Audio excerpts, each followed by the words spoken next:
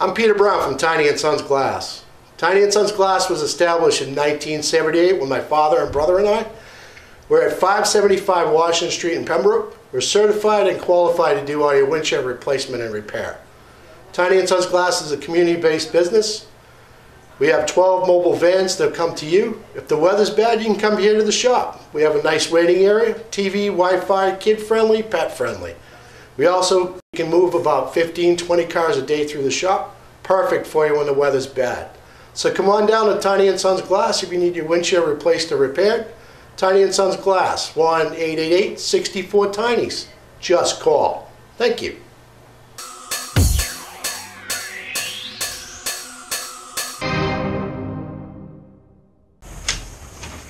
Okay, tonight, conservation meeting. Uh, January 8th is open. Time is 7:05. Staff members available? Four o'clock? Art Egerton, Mark Sotir. Sandra Simon. Rachel Keller. And Scott Glauben. Let's see. Forgive me, this is my first one doing this. Um, Is the hearing being recorded on Yes, we're being recorded. Cable, okay. Uh, Hearing is being recorded for cable broadcast. The following must be, oh, read this out of you. Please note that the meeting is being made available to the public through video and audio broadcast on PAC TV, government access channel for broadcast on future dates. Comments made in open session will be recorded. Let's see, okay, first hearing is seven ten. except we got seven o'clock. Oh, Uh, minutes, anyone read the, Did anyone have a chance to do the minutes? Read the minutes, yeah. Any questions, any questions on the minutes? move we uh, accept the minutes. I second it. Everybody approve? Yes. Aye. Good to go. Minutes approved, November November twenty-seventh. I could move that we issue a certificate of compliance for three hundred Center Street for repairs that were done back in the dark ages. I second it. Can can I ask, what, what were those repairs? They were repairs done when it was a Chinese restaurant. Oh. Just because of the bank doing some work, they find that the title had, had something still against it way back then, so it's, uh, Thought he was a waiter there for crying out loud. Dishwasher. Dishwasher. He threw a beer in though, you know. Mo- Motion's been made and seconded, everybody approve? Aye. Seven oh five. that's mine. Uh, Brisan Way has been started, or actually, it was started right after our last meeting, almost a month ago. And it's going along, we, I have allowed them to use metal sign posts for the conservation tags with the stipulation that when the lots are done, that we can ask or make them change them to the wooden ones that we normally use.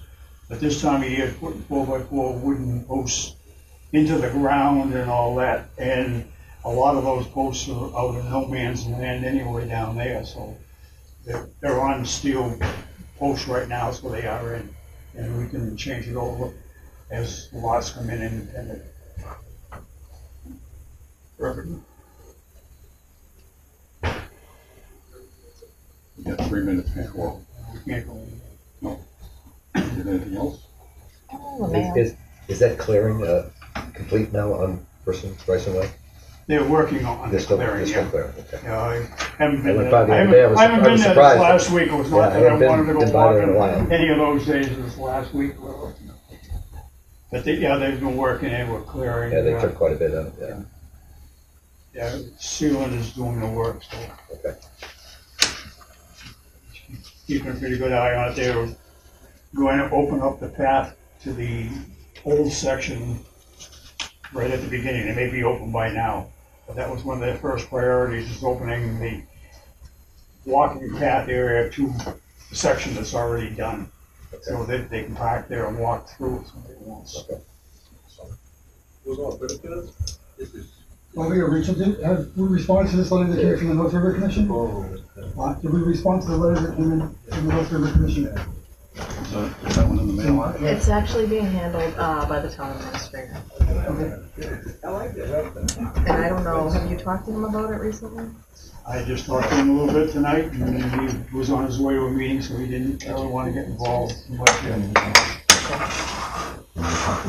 Oh,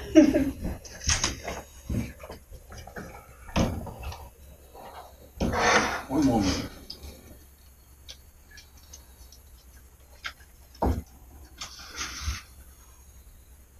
Well, we have another minute now, Rachel, did the, uh, so that letter that was written to Brockton, did that finally get sent off? Yes. And Was that contained within a packet from other boards as well, or did it go independently? we sent it independently with Okay. the attachments to everyone that you had listed, um, on your, right on. Okay. Okay, any response? Nope. So, just curious, so it got changed, obviously, was that from the selectman's office that it got changed? No, it was from our office. Who- who- So did, who was in our office? we, Bob and I discussed it, um, and I think it was kind of a decision that we made because the developments with Brockton paying for, I forget what Bill had told us, what Brockton started to do to try to remedy the situation. We also looked at the letter from, um, Kingston. They took a little softer approach as well. I think we we didn't want it to come across as, for lack of a better word, a spanking. It was more of like, it's not, my thought is it's nice to have somebody in there that they think they can talk to. Otherwise, we, sometimes, yeah, you know, sometimes they, if there's someone that they think they, they are, oh, pick the right word, but in other words, if we all take a, a big stand, solid hard against it, then there's no one to talk to. If you, if you, someone's going through and say, well, maybe these are the people that get, we can talk to to get our foot in the door to get something Yeah, going. I certainly see. I don't think it's gonna do any good one way or the other. so- Yeah, I certainly see the rationale of that. I think I, that, that, all that language came from my historical view of, No. they never listened anyway. right, Yeah. So, true, so start strong and True. go from there, but Yeah. we'll see what happens. I feel a two-pronged approach is like anything diplomatically, you have to have a very strong front. I think, and then you have your diplomacy. I think one without the other is, is gonna be another hundred and thirty-eight years of free water and nothing fixed. Yeah, well, that's why, that's why I wanna keep just a little door opening that they can, they can slide something in perhaps.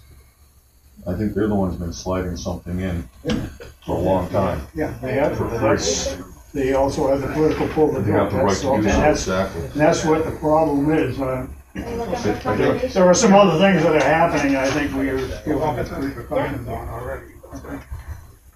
Uh, That's not tonight's agenda.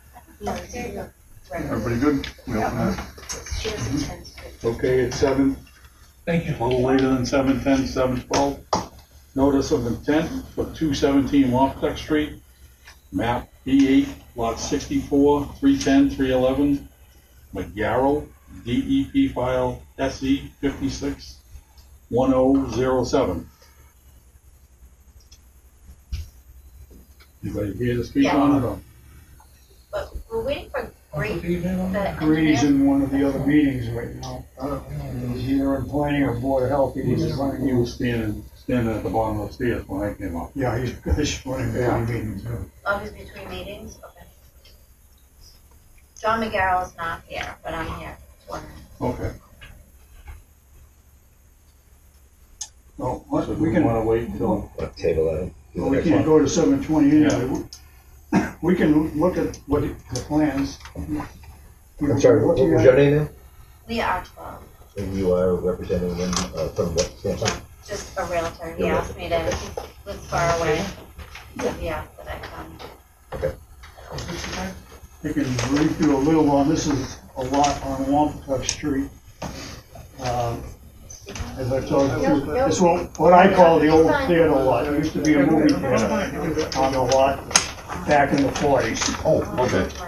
Uh, and all, it came before us a number of years ago, four or five, six years ago, and was approved for a house and all at that time. The house was not built, time was gone on the lot, so it's being resubmitted again. Very small You don't want to put a movie theater in there? That'd be nice. So this, this faces the lake, the pond? The Mattakeesett. That's Mattakeesett Street there. This one right here? Yep. Walker's going What's this this? way. So it's That right- little square right there, Bob? Yep. Right behind the old gas station. As you come up onto Wampatuck Street, corner house, the big corner house, The Brown greenhouse, Betty, yeah. and after that is the driveway. Driveway. This is the lot just beyond the driveway before you get to the next house. Okay, I can picture it. It looks like it's the yard for the next house, but it's, a- there is a lot there. So the structure was demoed in the past? Oh, this, the movie theater hasn't been there since Okay. fifties, the early fifties at that. So when it's run out, the permit and the plans, or just the permit?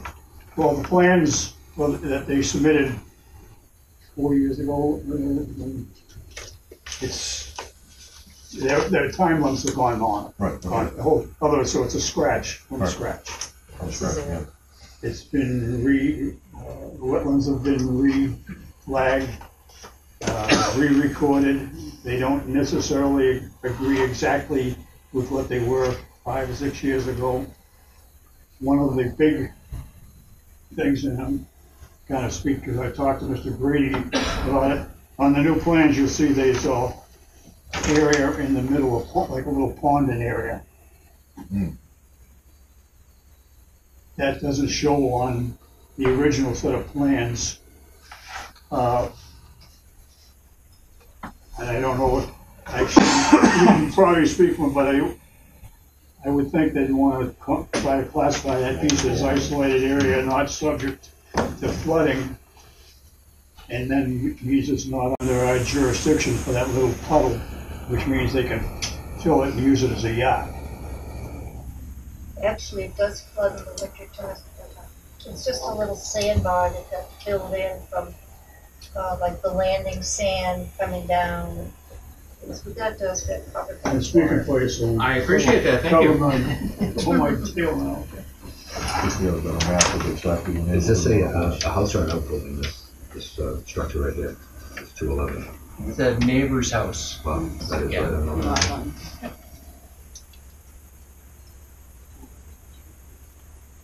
How are you? Well, we were holding off for you, so you have the floor. at the Okay. moment. Thank you, Rick Brady from Brady Consulting. Um, this was a project that was actually approved back in two thousand and three to rebuild a new house on here, septic system. Um, I think he hit the 06, 07 timeframe and let everything sit. Unfortunately, everything expired. Um, so with that, the wetland delineation expired. Floodplain maps had changed. Um, some of the rules and regulations on the septic system have changed. So he was hoping to take that previous two thousand three plan and reapply with that plan for updated permits, but it wasn't quite that easy. So we redid the wetland delineation. We uh, updated the survey, connected it to a NAVD nineteen eighty-eight datum, so that we're on the same elevation basis as the newer floodplain maps.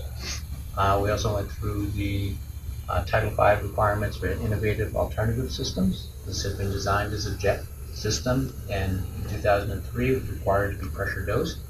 So it involved not only the jet tank, but also a pump chamber and a pressure dosed leaching field. Under today's requirements, we no longer have to pressure dose that field, so we're able to go to the jet tank for treatment still. Uh, and then, rather than going to a pump chamber, we're able to go by gravity to the distribution box and then to the same size leaching field that was previously approved. Um, as I think I heard Bob mentioning, we actually found that today our wetland uh, scientist John Zimmer pulled that wetland line up quite a bit further than they had shown on the 2003 plan. Basically, they were going with the edge of the pond in 2003. We did revise the house location to pull it up as close as we could to Wampatuck Street. Uh, previously, it was kind of rotated about 30 degrees, and it was back about another 30 feet. The floodplain lines, fairly close to us, it's at this um, elevation 59 contour here, back. Um, so that we're not reducing flood storage capacity, we wanted to pull everything uphill of that flood zone line. Uh, so no fill is proposed within flood zone. We're doing a rear walkout basement to minimize the grading to the back of the house. Uh, we did propose erosion control, uh, as we typically expect here. Uh, we also shortened up the driveway. Uh, the driveway was quite a bit longer. We do want to maintain a fairly level driveway. We're sloping down from elevation 62 and a half to 59 where the flood zone is. Um, so we shortened up that driveway to make sure we could make that slope without actually putting any fill into the uh, land subject to flood. Uh, we did also reapply to Board of Health for the septic system. Uh, they did continue that hearing. I've got a couple of numerical errors in our distances that we're stating in our variance request. I need to clean up for them and get back to them before they'll be able to issue an approval on it. Um, But aside from that, it's got a lot of similarities to that two thousand and three approval, just updated for two thousand and seventeen. Do you, do you know what lives in that water hole by any chance? I do not. Um, we do have a wetland summary form that our wetland scientist had shown us. Are are you wondering if it may be a vernal pool or? Yeah. That'd be the first question. Yeah, I don't know the answer to that. Um, however, I, I don't know, but we are not doing any work in that area, and we are keeping all of the proposed work as far as practical from that low area. Do the regulation say how far you have to be away from a vernal pool? If it, just in case it is? The, it's not a certified vernal pool. Um, and so we would be Straight Wetlands Protection Act, um, no bylaw. Uh, so basically, no, we're not allowed to alter it. Um, it is subject to jurisdiction because it is within the wetland resource area. Um, but there's no specific setback to it. I don't think it's even shown as a potential vernal pool, uh, by natural heritage. A lot of them aren't registered. Um, I think we should look into what, what that water is. Seems to have changed a couple of times, so. Find out more different what it is. Go down house there. Well, it was shown in, as contours in two thousand and three under the previous approval as a depression. Um, Don't know that there was even any standing water in it. Well, it says water hole, so I mean, that pretty much says it's a water hole, not a depression. And it says it right here, water hole. No, but this is a current, but he's talking about the old plan. Okay, um, so it's not considered a water hole on the old plan? No, the old plan, the wetland resource area was actually roughly where the pond is located. They weren't showing that as being a wetland area at all. Um, so. This is I- the. But what you see Yeah, that would be. is the work is gonna be on the uplands. Upland. And the- the wetlands, where the, where the hole that we're discussing I have one. isn't going to be, um, disturbed Right, it's not gonna be touched. So, So it's a new one. it's, Well, right, I don't know if they heard me say that, but Here's the old plan, if you want to take a look. It water hole right on it.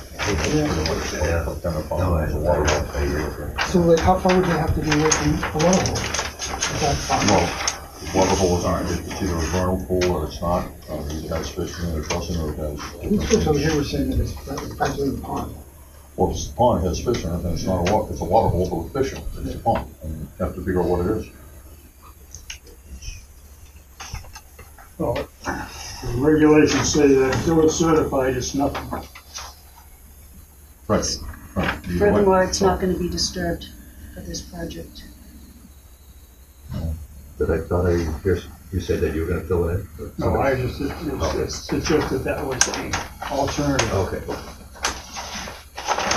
So it has more to do with the, in my opinion, the floodplain regulations, that we wouldn't be able to fill it in with providing compensatory storage.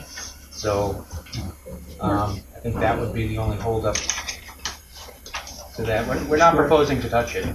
Um, wetland line's quite a bit uphill from what was approved previously.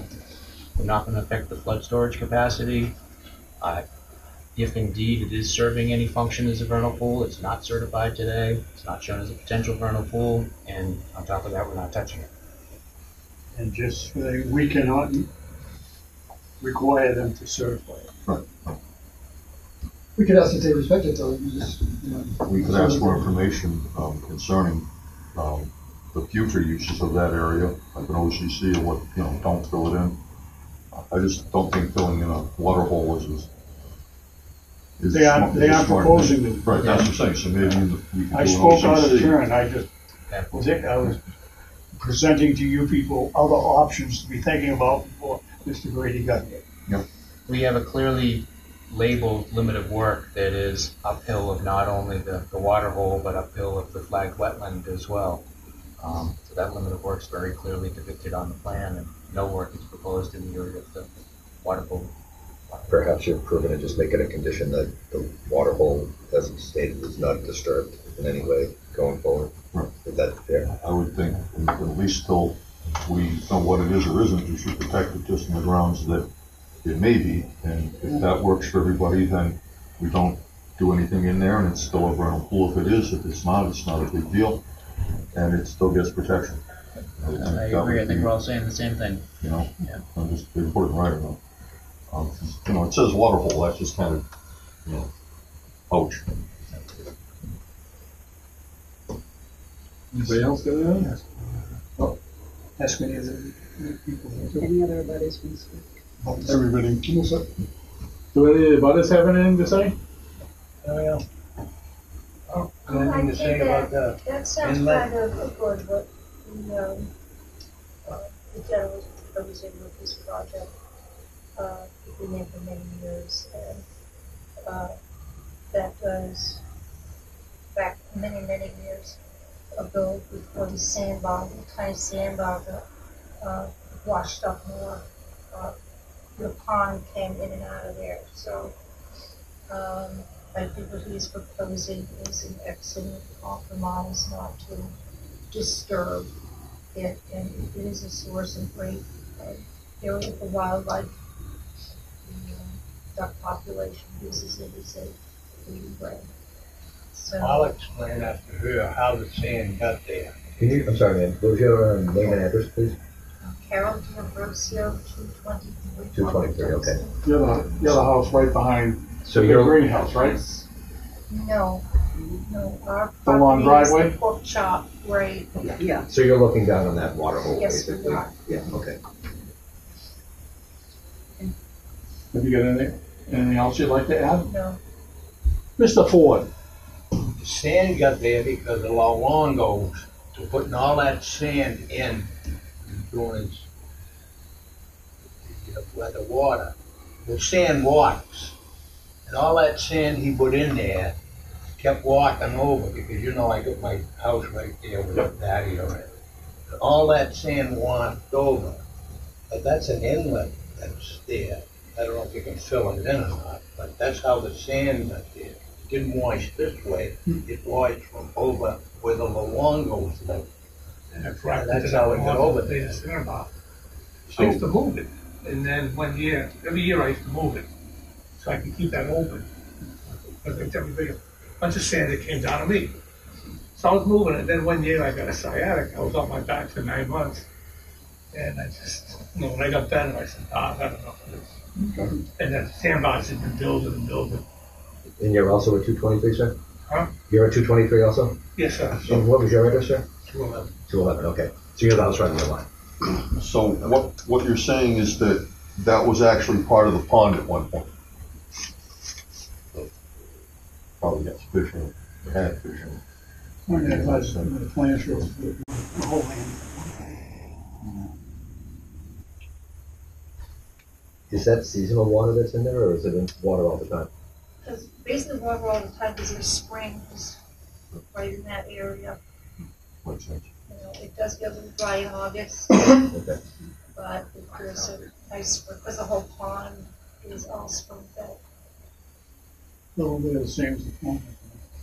Right, right, probably. so- It's all sandy soils, yeah. It's the same book. Is there any other butter that would like to say anything? Two of us, we're in the middle, the land's in the middle, and the boat is very open. And it sounds like there's no proposal for any work to go on around this or filling it or anything, so. Anybody else got any questions? I second close. Everybody good with closing?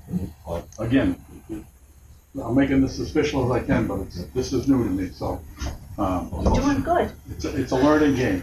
Um, As long as everybody's happy, we're close. This would go in accordance to plan with the following. That the area of, of the so-called water hole not be disturbed. Any work beyond the, uh, behavioral line, what, what do you call it? Area Uh, of we did work, sock and limit of work. yeah. Any, any work beyond the limit of work will require another filing.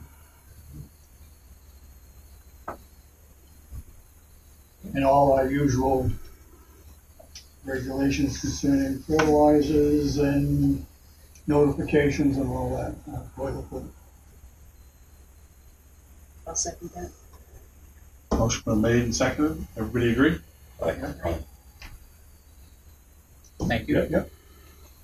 Thank you. Good job.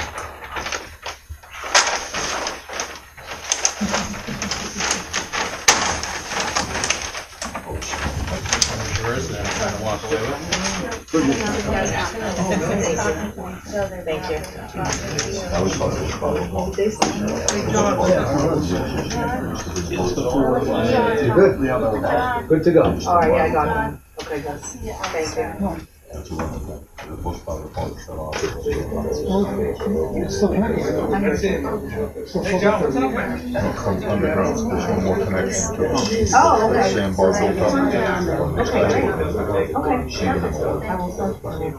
We have, uh, another, the same, sand is coming in. Up the old free, Yeah.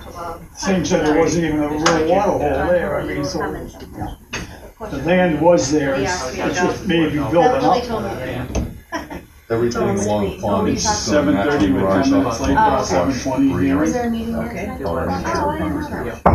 Gonna, gonna open the next hearing, notice of intent, the three forty-six Washington Street, map E twelve, lot twelve, Smith and Sons, DEP, fi- yeah, DEP file SE oh five six one oh oh nine.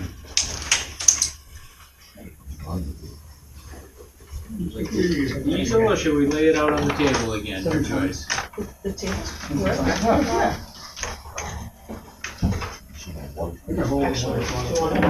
Yeah, we can look at that one. Give, I'll give them this one, you guys will do that one.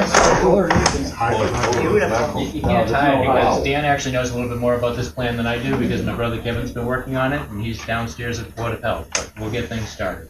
Um, I assume most of you know Dan Smith, and Dan's looking to uh, locate a shop over here on the old Chip Tech site, and he's excited to get in there and clean up the mess that's there t- today, and, um, he would have liked to have been out there clearing it a month or two ago. Um, here's a rendering his wife had done of, uh, the shop that they'd like to build at that location. Um, he's gonna take everything he liked about his old shop over here on Mattakeesett Street and roll it into a new one over here. Um, here's the general layout of the site. Uh, the rendering that we were just looking at is, uh, this proposed building at the front here, uh, frontage on Washington Street. It's about hundred and sixty-five feet from Washington Street to the front of the building, so it's set back pretty well there. Uh, we do have a bordering vegetated wetland that surrounds the property, uh, that we get delineated by John Zimmer, our, wetland scientist. Um, and basically the center area here and also the, uh, lighter green area here is where he's gonna propose to be working for mulch processing and mulch storage. Uh, second, uh, building in the back in this area here, uh, another shop type building, uh, with access to the rear of it there. Uh, also is going to be doing a bio, correct me if I'm wrong, biomass heating system, in an exterior shed here. Um, goes along with his recycling operation. These are wood chips. Which, which lot there is the fire station? Fire station's right here. Uh, there's also a small wetland area to the front of the property here. Um,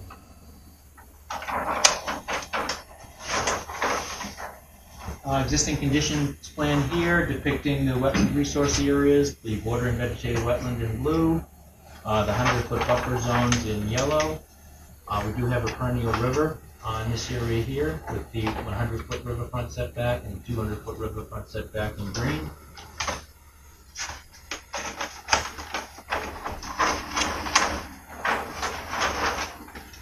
So very similar to the previous use on the site. He wants to utilize uh, all of the upland area. No work is proposed uh, within the wetland resource areas. Uh, we've designed a number of drainage basins around the property um, Small depression near the turnaround island in the front here. uh, Drainage basin in the buffer zone in the, to the front wetland here. Uh, And also some drainage to the rear of the back building in this area here. Um, I'm unfamiliar with the previous use, what was the previous use? Previous use was chip tech, which, processing. wood processing, yep. Was there a structure on the site, or are they just? Trailers. Just trailers? He has mobile homes on it. But if we go before that, this is the old West Blocks Factory, and there were structures there years Yep. ago when There was a mill they there. building wooden blocks, there was a storage yard for drying and lumber and all that. It's been in the lumber part of work for, Didn't they have a mill there? An actual mill there, didn't they? yeah, there was mill buildings over there. There's a big picture of it in the historic building, how it was in like the forties and fifties. Uh, this sheet here gives us a good depiction of what's taking place within which resource areas. Um, proposing to maintain a twenty-five foot minimum, uh, to the wetlands around the perimeter of the property. Um, I guess I'll start in the front here. Work within the hundred foot buffer zone in the front would involve the drainage detention basin uh, in this area here. Uh, as we continue along, we have some additional drainage swales, uh, adjacent to the wetlands in this area here. A small portion of this building here is within the one hundred foot buffer zone, uh, approximately fifty feet uh, from, or actually about forty feet from the wetland itself. Um, back corner of this just touches into the hundred foot buffer zone as well. Um, obviously, the driveway is also within the hundred foot buffer. Portion of the mulch processing here will be within the one hundred foot buffer. We do have some redevelopment within the riverfront area here for an underground drainage infiltration system uh, discharging overflow uh, towards the wetland and the river. Uh, It's proposing some bins for material storage adjacent to that, so that'll be pretty clearly demarcated uh, with those concrete storage bins. Um, And then the rebuilding of the entrance roadway uh, is also going to be in the same location where it is today and be within the 100 foot buffer. Uh, Drainage calculations were submitted, being reviewed by the uh, planning board's consultant, Peter Palmieri from Merrill Associates. Um, There's quite a bit of uh, silt sock erosion control here to be installed for uh, protecting the wetland from sediment during construction.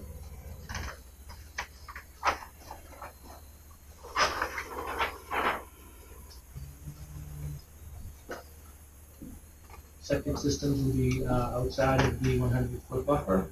We're going to be reaching right up in front of the proposed building in this area here. Uh, Connecting to town water, connecting to gas.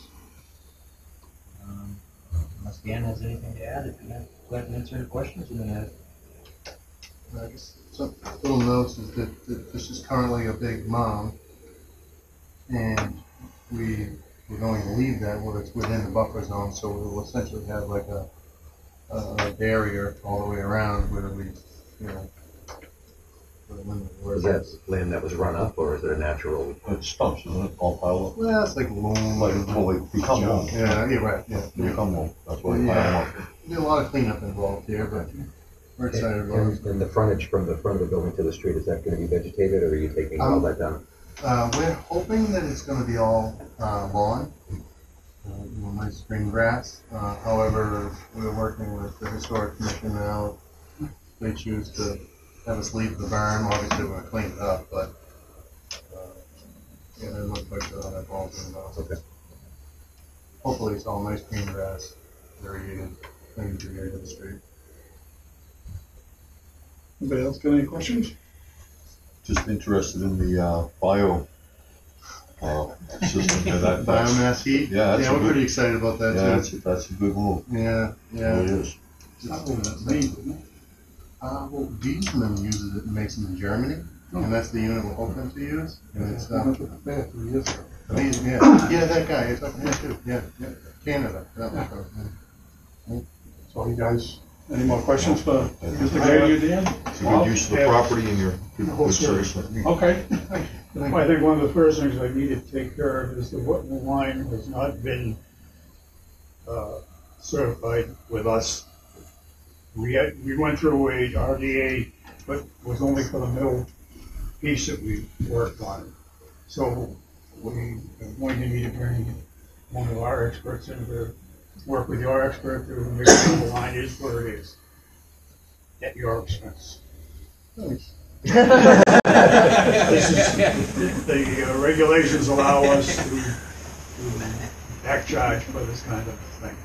But that needs to be done now as, uh, Peter Paul, you know, is working with planning board on a lot of the engineering. A lot of our engineering is the same as planning board's engineering. The law doesn't allow us to charge you twice for the same job, so we're, uh, going on Peter's tails and letting him do, no, supply us with all that information. There may be a time when we need additional information that planning board doesn't have. I don't know right, right now if we have any of that. It may come up during the meeting, so we may have to add that. But other than that, we're planning to work with, with Merrill on our part of the engineering, but the wetland line Merrill doesn't want to touch. So we like to have your okay to go ahead and hire an expert. That's usually the way it's, it's done. Who are you using for that these days? Just use from. Uh, we usually use one of three. Um, Lenore White, uh, Marty Nova, and, uh, Sharon. Laporte. Laporte. Yeah. I mean, if you have a choice, we would try to honor your choice. Uh, out of those three, my preference would be Sharon Laporte out of three, just because I'm familiar with all three of them charge and I'm afraid where that could possibly land with a couple of the others. Um, Uh, Well, we would like to work between Rachel and our office and the people and, and Sharon, see if they are interested in, you know, in doing it and getting a cost, and we need a check before we can tell them to go ahead and do it. We also have snow on the ground, which is going to hinder, or could hinder that a little bit. all be gone by the weekend, right? Yeah, well, Positive thinking. You can tell us that, you're gone. And that's, that's all the more reason that if we expedite getting these things in line, if the snow's gone, maybe they can get out there before more snow comes. If we linger too long, we'll liable to have more snow. Most of this, uh, is a significant portion of the delineations that, that's at the bottom of the fill, Yeah, um, along the back. That was done previously. I I don't think, I mean, they could do that, no problem Yeah, anytime. also, There's yeah. only a few areas where it's, uh, you know, I believe we all can work together to get that, Yeah. that part of it, of it done. Uh, a suggestion, we we're talking about silt sock on this area. We might be able to get, do a, uh, three or four foot high chip wall all the way around it. And, you know, and wherever we need to have drainage, we can use stone or something for drainage through, but would be more natural through the area. And it's gonna do the same, same job, it isn't like we were working in a, some of the ar- other areas. I think that's a great idea. Anybody else? Just curious, so is this a secondary location for you, or is this gonna be your primary location for will your be our business? primary location. And how many, how many trucks and trailers are you parking there? Uh, so currently, uh, we we work on a Mattakeesett Street, right in the center here, and we have mm, seven big trucks. And then there's probably four one-ton size, you know, pickups and stuff like that. Uh, we, we like to keep them all inside, that's the purpose of this building. Okay. so, Uh, you know, that's why we're kind of upsizing them a little bit, up is getting bigger and then Yeah. squeezing there, like our needs right now, so. Well, if you keep the property as nice as you keep your trucks, uh, I'm sure. Appreciate it'll look beautiful. it. And your property, probably looks good. Thank you, appreciate it very much. Thanks. Anything else, anything else from the board? Anything from the abutters? We have a letter that was submitted um, on behalf of one of the abutters. Uh, It's from Lucas Environmental. I only have two copies, so I'll pass them along. They just they just submitted it right now, so I haven't had an opportunity I'll read it out loud though. Sure, that's great. From, uh, Matthew Watsky, Esquire, um, Lucas Environmental, notice of intent, comment letter. Dear Mr. Watsky, as requested, Lucas Environmental LLC, LE, has reviewed the notice of intent application submitted by Smith and Sons for the proposed commercial building with its associated grading, drainage, and site work located at three forty-six Washington Street in Pembroke. It is our understanding that your client, Mrs. Ms. Maria Karas, is a direct abutter and has concerns over the proposed project. Our review is limited to the documents noted below and available published information. It does not include on-site inspections or site visits. LE is not familiar with the previous land uses and permitting history on the property. Please note that this effort is specific to environmental resources. It does not evaluate issues related to local planning or zoning requirements. The following data sources were examined, examined prior to the review. Federal Emergency Management Flood Insurance Rate Maps, U.S. Geological Survey Topographic Quadrangle, Mass GIS, Mass DEP Wetland and Hydrology Data Layers. This goes on, there's a few more. Uh, Ignore those. Um, the following documents were, and plans were reviewed. Plan set, site plan set three forty-six Washington Street. Goes on, gives some assessor's maps. Uh, notice of intent and accompanying materials received on December fifth, twenty seventeen. And a determination of applicability issued by the Pembroke Conservation Commission November 22, 2016. LE uh, was not avail, not able to obtain a copy of the wetland location plan in advance of tonight's conservation hearing.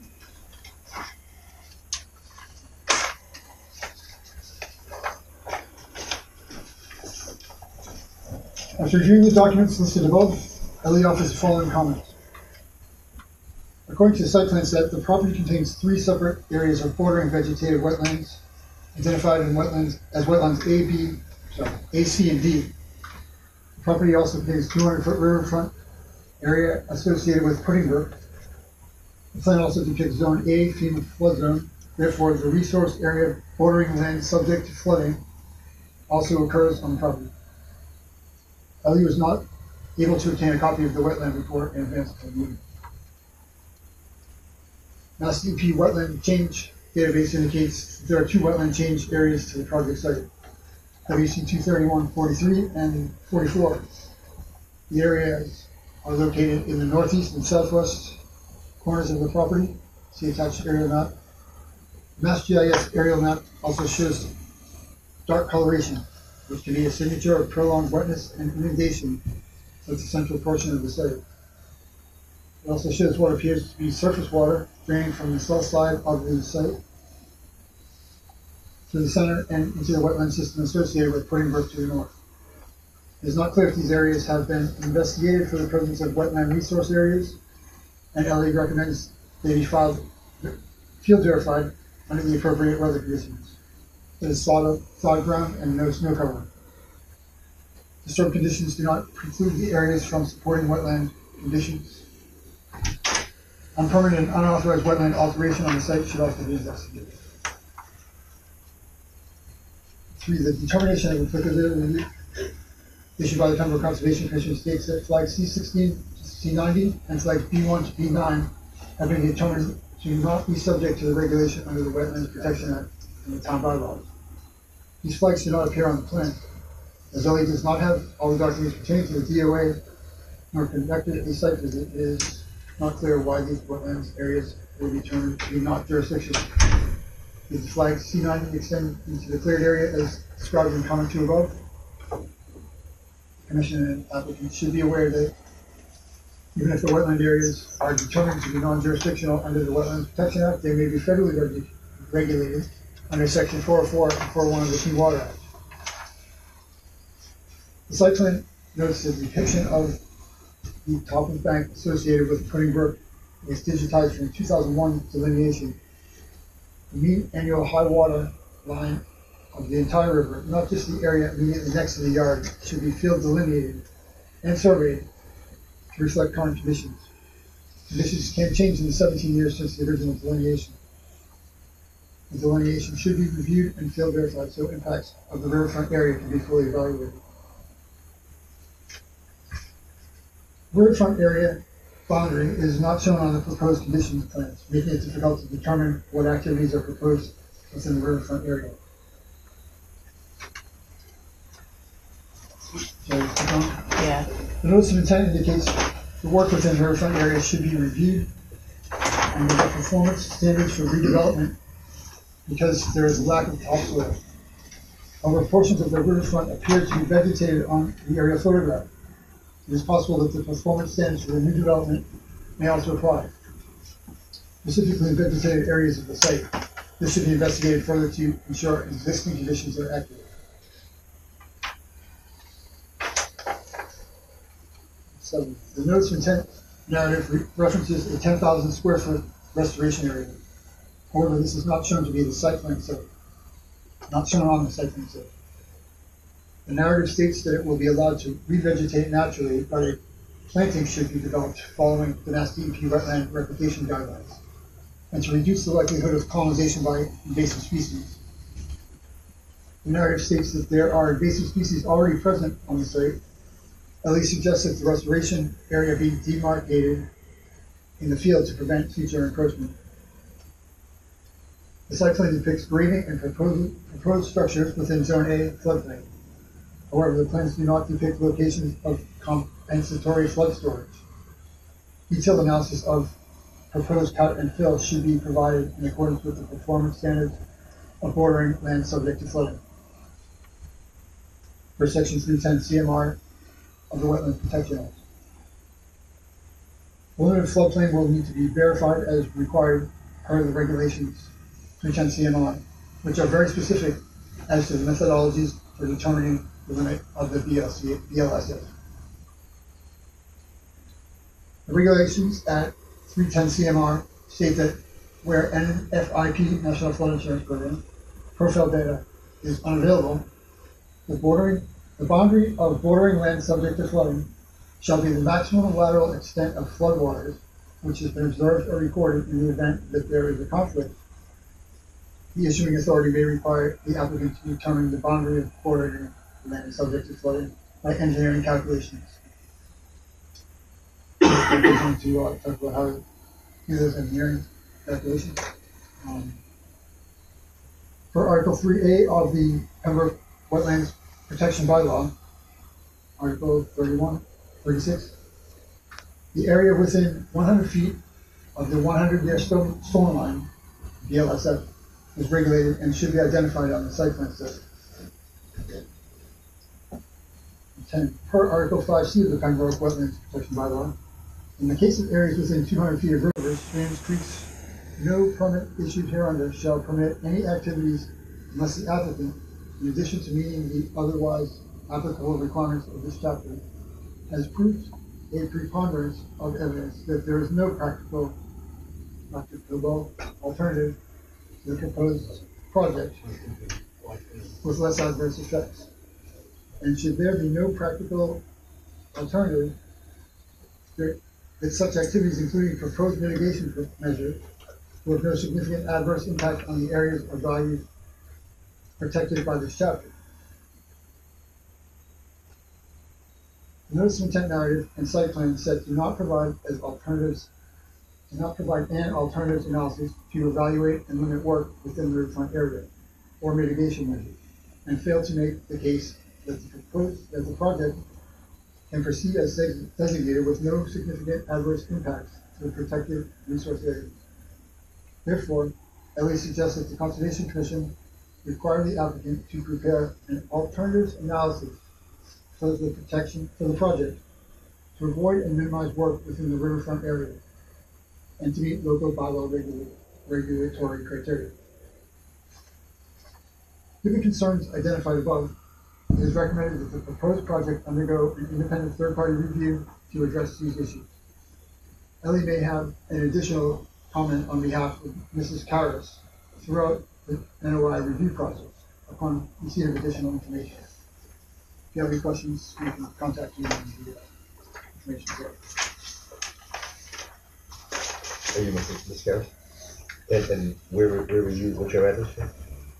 I'm right there, four hundred Washington Street, but I don't think that it was disclosed, uh, with the application Yep. for conservation.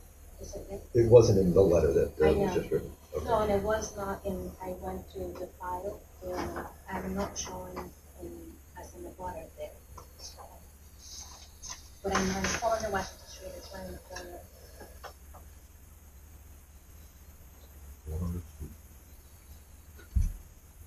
So it seems like a, uh, something our, whoever we choose to go out there will take care of. So, have had you guys seen this before? No. I- You're totally aware of that, okay. Does it coincide with what you were looking for anyway, Bob, as far as having the independent Well, third yeah, party? that- that's normally, I should say, no.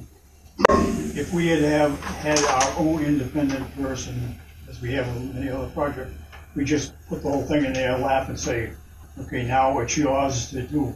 But because planning board has already hired an engineer and is working on it, we have to be very careful that we don't overlap what this other engineer did, because they, law says you only can ask, to get paid one time for them. So we're using Merrill as for all we can, and, um, I think we have to leave it up to, first of all, let these people see the letter, answer with all the questions they can. Some of those questions are Merrill's, and then whatever's left is ours to take care of. But I mean, I think everybody has to limit their, get their part of it out before we can get into it, because we're on the tail end of it. Yeah, there's, And I there's a lot agree, it there. sounded like a lot of it was, please have a third party take a look at it, which the commission's already told us tonight, we want to have done, so. And their, their wetlands people can probably answer a lot of the questions that are in there. you know, And the more that's done that way, the less that we have to do, and the less we have to do, the less we have to do. you. We know the drill. So if I may ask, ma'am, what is your, what is your main concern? Is it, you know, if you could, So my property is right here, Mhm. and it's all the way to here, this is, this is what we're like. Um, this grinding operation is right here, which is in my backyard. Okay, Um, he's trying to persuade me that there's gonna be some stuff going in between that is gonna minimize the impact, but we're concerned, not just me, but other abutters too. The impact of the environment, the impact on the wetland, and pretty much everything. so is it a, a, is it also an aesthetic issue for you? You're concerned about what you I'm look at when you look static, at? I'm looking for peace and noise, but that's another thing with the planning board. What are the conditions like there now? What's that? What are the conditions like there now? It's beautiful and white, it's nice as that. It's, uh, it's also, I just moved there, that's what I'm. it's, it's been industrial forever, it's been mills, it's been built, and I think as long as it's done properly, I, I personally think it's a good use. So you have very few buildings on a very big area, you know, use it for storage and mulch, In It could be a grinding, shopping center. right behind Grinding. residential, correct. that's what was there before. Was it grinding operation? Yes, stump grinding, yeah. So my question would be, if, if you, um, you allow me, the fact that there was something before, does it make it that it can be done again?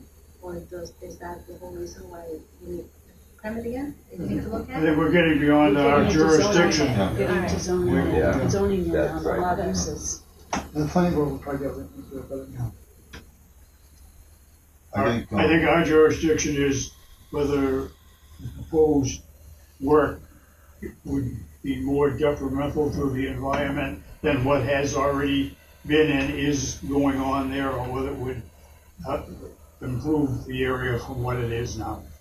That's really our, our, we're environmental issues, not uh, some of these others. that- Correct. Do, do we know what invasives have, uh, this mentioned invasives, do you know what invasives have gone, got on the line? Probably. Phragmites within that central area. That- Is, that was is, disturbed. is there not weed, uh, on the frontage of that? I- I Yeah, can't there's remember. probably knotweed in the, along black locust up by the street. But you guys have not had a copy of the letter that I just read. Correct. So we need to give you that, we need to give you that so you guys can address what you Respond can. to it, yeah. Yeah, Rachel would scan that in and send it over to us, that'd be great.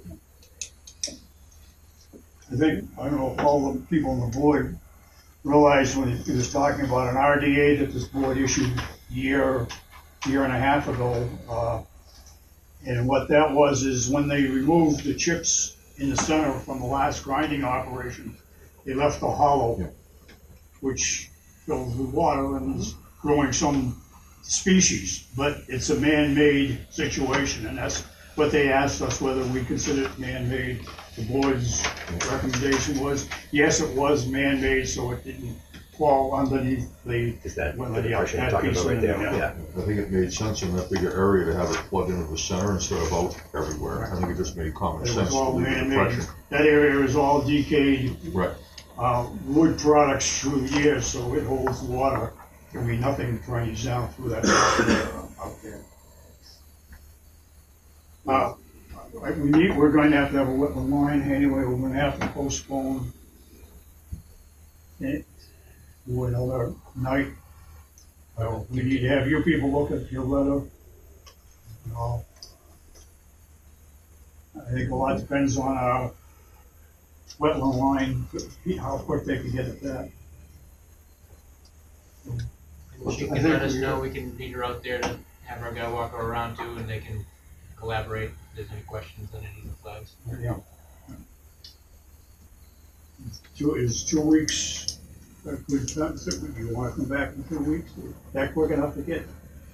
I think we'd like to say two weeks, and if we get lucky with the weather, great. If not, we'll send in a request for continuance and not clog up your agenda. And I move that we continue for two weeks.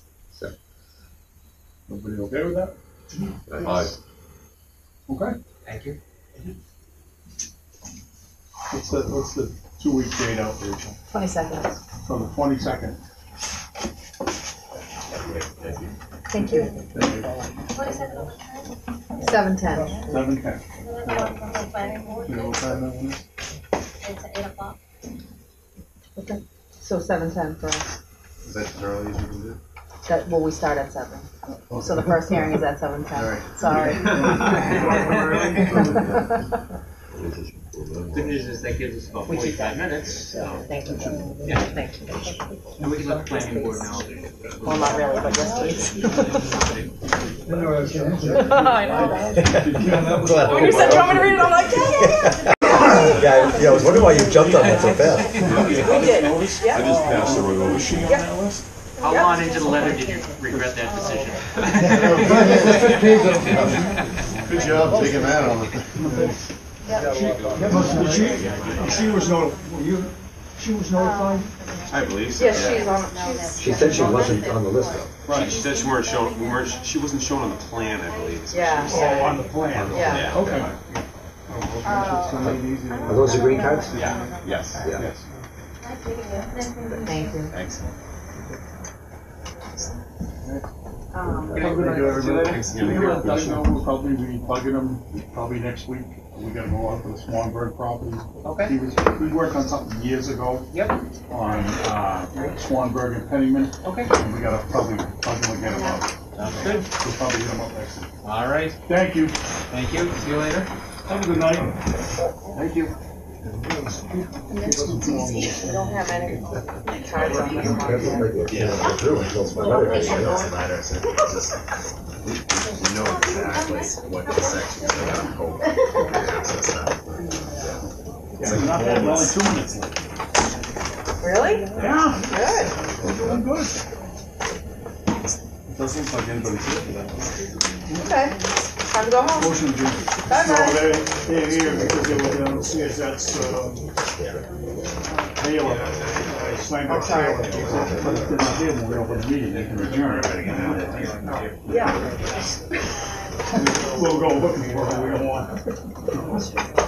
Okay, it's, it's now I eight that oh was- three. We can't open the hearing yet, though, because we don't have any green card. Oh, We're gonna see if we can find some, Uh, I would, but I don't know who they I don't know are. who they are. McGovern, Terry McGovern, I don't know her. Right here. He lives, he lives on, he lives on, I think you better go find her. he lives on Center Street. Send Pembroke down. God, Is is that Al's son? Yeah. Oh, okay. Well, I, I know Al, I didn't know, oh, I knew Al, I didn't know him. It's right on the corner of Yeah, Weedsbrook and Weedsbrook, Center. Yeah, or used to, be- I don't know if you say it, but that's, yeah, that's like, a family, yeah. I remember it was there, I lived there, but I didn't- I didn't know any of the. Terry and then Taylor or something, Rhinebeck Notice of intent for two thirty Water Street, map E fifteen, lot twelve. Straco? Straco, DEP file SE zero five six one oh oh eight. The floor is yours, sir. For the record, uh, Terry McGovern from Stenbeck and Taylor, representing Mike Stracco, Crazy House LLC. With me is Brian Taylor, who also uh, was an engineer in the project, as well as uh, Mike Stracco and his partner Tony Giovanetti, um, who can talk about if there are any questions regarding business operation, which we just answered several of them. So this will be an abbreviated presentation of what I did next door, uh, since not all of the issues are the same. Brief overview of the site. The site is the, known as the existing or former, now former Taylor rental site at the intersection of Water Street, Schoosett Streets, and uh, Church Street. The limo place is just next door, Water Street, and rock solid granite is immediately to the east. Single-family residence, with a long driveway immediately southwest, and Phil Howard's residence slightly farther southwest, all entirely located in the Business B zone. Um, The existing site, which is just a little over forty-four thousand square feet or just over an acre, um, our existing conditions plan, the existing building is located here along the southwest portion of the property. There's an existing paved entrance and parking area here. Uh, The remainder of the rear of the property is a gravel yard. Um, There was some debris recently cleaned up in there, but has traditionally been a gravel storage maneuvering, um, kind of a move-around area for the equipment that Taylor Rental was using. And off to the westerly side of the property, uh, adjacent to 226 Water Street, which is the retreat uh, driveway and site out to the back, is a BVW line which was delineated last fall. There's also an arc on the other side which extends onto the Howard property. Uh, We're showing wetland flags running just off our site on um, Mr. Chapman's property, along with a 35-foot buffer which comes onto our site, 50-foot buffer, and the 100-foot limit of the bordering vegetated wetland buffer zone here, which pretty much runs through the rear quarter, rear third of the property. And that runs through the middle of the open gravel area right now. In general, the site slopes uh, from about the gate area or from about the middle of the pavement area, gently slopes back, uh, slopes a little bit steeper as it approaches the Chapman property here in the rear. There's an area that slopes onto the driveway here, um, immediately southwest of the building and extending probably, know, 30, 40 feet off the portion of the rear building, of the rear of the building here, slopes directly onto the driveway, which then shoots down to a low point in this area. There's actually a culvert, which was covered by leaves at the time we were out there. I believe there's a culvert under this driveway in this location. Uh, wooden fence with a gate on Mr. Chapman's property, kind of the remains of an old fence in this area. Some mature trees, a little scraggly, but along the southwest corner, border vegetation, and then some more mature trees around the northerly property. Um, What's the elevation change between the, the front to the back? Back, uh, down in this corner, the wetland flag just off the property is eighteen point seven or just under nineteen feet.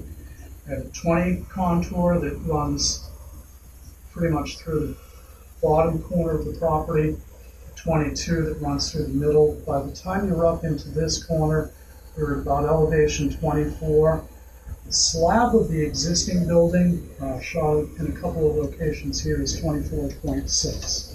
So you have roughly, I would say from this corner, actually have a little raised area right here because this is a little bit cut down.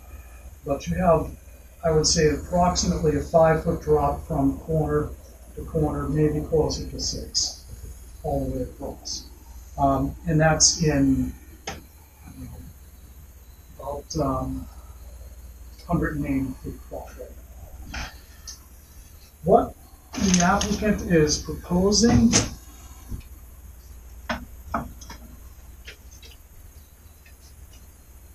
is a 7,000 square foot new building to be located towards the rear of the property.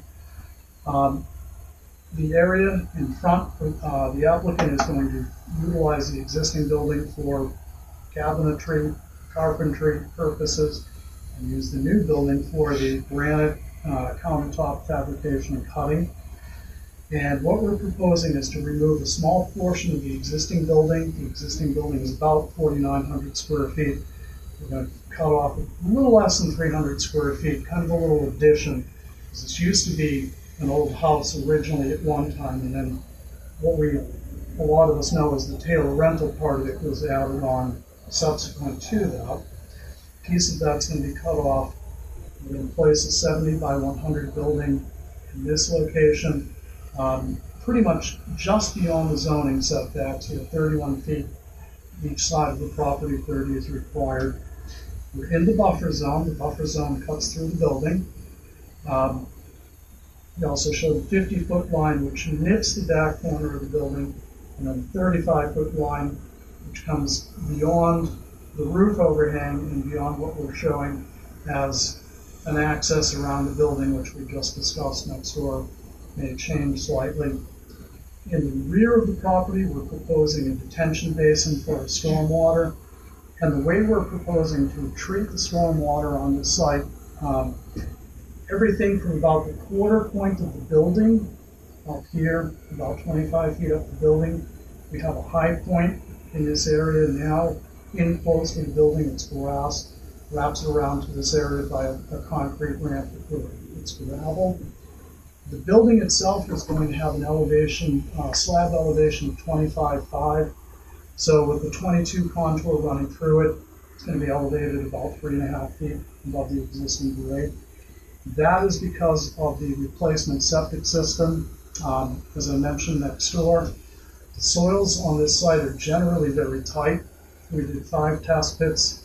Three of them landed in an area of uh, either we hit the, actually we didn't hit the old septic, we missed it amazingly.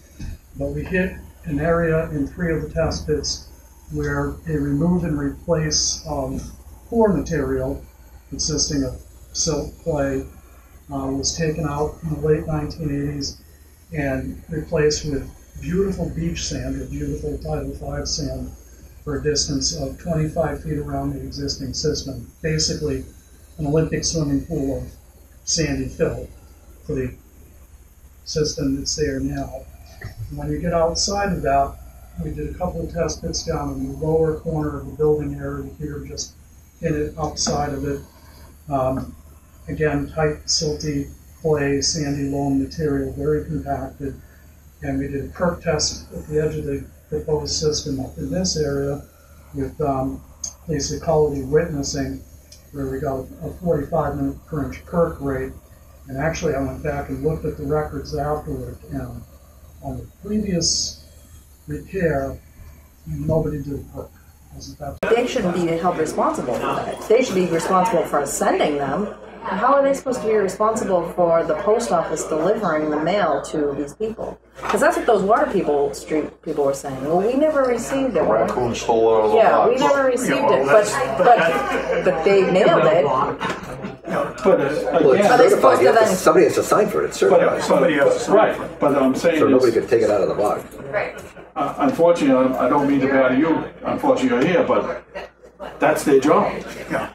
To But make what are sure they all supposed the to do then? paperwork Go here. to, Go. to the person's house and say, did you Well, they receive should be, this letter? if if you have to sign for that. Send it back to him. Right, if they send out five cards and they don't get five back, What, what if I'm in, typically I know I have no happens, problem. like on a site like this, if we send out a, a dozen notices, let's just say somebody's been in Florida for the last three weeks. There's snowbirds. What will happen is, it'll either sit in their mailbox, we have the receipt that shows, yeah, we sent it out. Um, if it's not delivered, it may be one of those in there, but it's unlikely. Usually we'll get the whole envelope back with a little red arrow, unable to deliver. Yeah. And usually, when we get that, we just throw that in the stack and say, here's what happened, and here's the current, you know, we got our, our certified list from the assessor. So we've done everything we can do. Short of going up and banging on the door and handing the card to them the day before the hearing, we've done everything we can do. That's how it usually works, and that's why we put the- receipts or copy of the receipts, what I call the white slips. We'll put those in there as well, to show, yeah, we made the effort to send them out. If you have twenty or thirty people, sometimes you don't get a couple cards back. Oh, yeah. Happens a lot, happens all the time. Some people never pick them up because they figure it's a revenue or something. It's like, And that's what I mean, so then, I would- why should they be held accountable for those people who? I think the, the applicant's only burden should be to send them out. Right. Yeah. I agree, Right, that's up to you. I believe that's what the law says too, is that you Yeah, have it to, you have to send them out, you don't have, you know.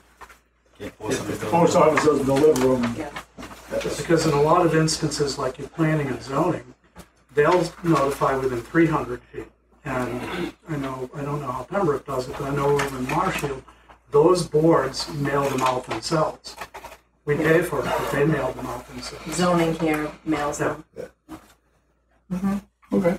I just think. Just asking questions. Yeah, I mean, you know, my thought would be that, uh, you know, it's certainly important to know that they got sent out, but if something does get, uh, is undelivered and gets returned, I think we should know that as well. Yeah. You know, so if, if ten get sent out and nine green cards come back and one letter gets sent back, we should know that the letter. came back again, as and that's well. why we So used to always ask them, you Yeah. know, did they all come back? And they say, no, these two did, at least Right. send us in the Right. record. Do And- we know? As long as we know. Yeah. You know, but right, we can't, you know, Okay. Well, we have I think so. that's fair. Right.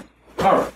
We're we're a few minutes late, but it wasn't our fault. You guys were late. Sorry. So, Notifications. I said, how did we get there with the notifications? I kind of walked in in the middle of that. okay, it's supposed to be eight o'clock meeting, but it's actually eight twenty-one.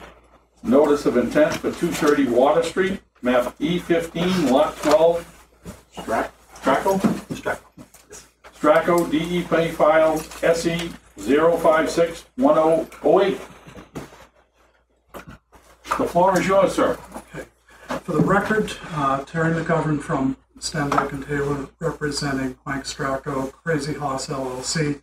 With me is Brian Taylor, who also uh, was engineering the project, as well as, there we go, Mike Stracco and his partner Tony Giannetti, um, who can talk about if there are any questions regarding business operation, which we just answered several on. So this will be an abbreviated presentation of what I did next door um, since not all of the issues are the same.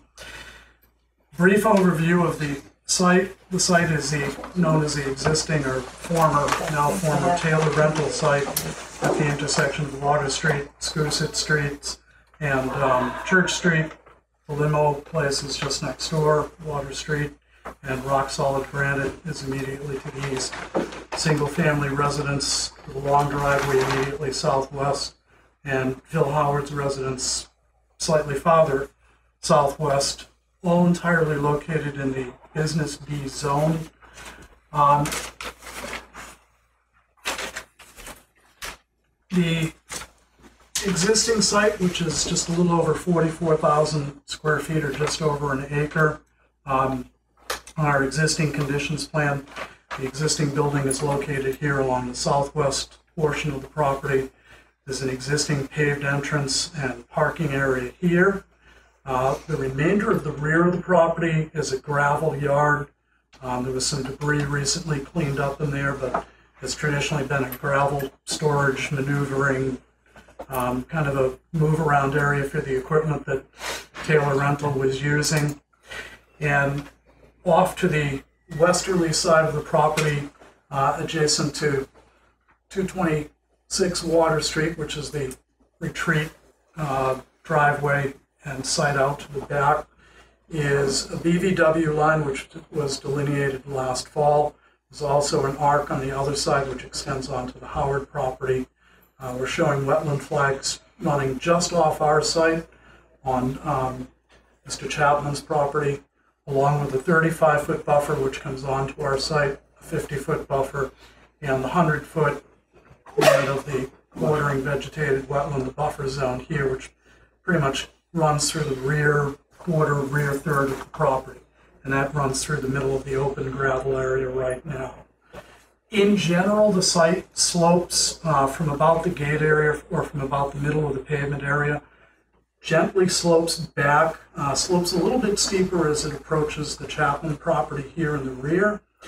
There's an area that slopes onto the driveway here, um, immediately southwest of the building and extending probably, I don't know, 30, 40 feet off the portion of the rear building, of the rear of the building here, slopes directly onto the driveway, which then sheets down to a low point in this area. There's actually a culvert, which was covered by leaves at the time we were out there. I believe there's a culvert under this driveway in this location. Uh, wooden fence with a gate on Mr. Chapman's property, kind of the remains of an old fence in this area. Some mature trees, a little scraggly, but along the southwest corner, border vegetation, and then some more mature trees along the northerly property. Um, What's the elevation change between the, the front to the back? Back, uh, down in this corner, the wetland flag just off the property is 18.7 or just under 19 feet. I have a 20 contour that runs pretty much through the bottom corner of the property, a 22 that runs through the middle. By the time you're up into this corner, you're at about elevation 24. Slab of the existing building, uh, shot in a couple of locations here, is 24.6. So you have roughly, I would say from this corner, you actually have a little raised area in here because this is a little bit cut down. But you have, I would say, approximately a five foot drop from corner to corner, maybe closer to six, all the way across. Um, and that's in, I don't know, about um, 180 feet roughly. What the applicant is proposing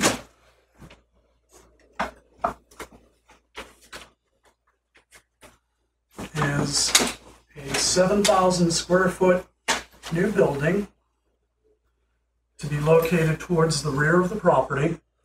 Um, the area in front, uh, the applicant is going to utilize the existing building for cabinetry, carpentry purposes, and use the new building for the granite uh, countertop fabrication and cutting. And what we're proposing is to remove a small portion of the existing building. The existing building is about 4,900 square feet. We're going to cut off a little less than 300 square feet, kind of a little addition, because this used to be an old house originally at one time, and then what we, a lot of us know is the Taylor rental part of it was added on subsequent to that. Piece of that's going to be cut off. We're going to place a 70 by 100 building in this location, um, pretty much just beyond the zoning setbacks. We have 31 feet to each side of the property, 30 is required. We're in the buffer zone. The buffer zone cuts through the building.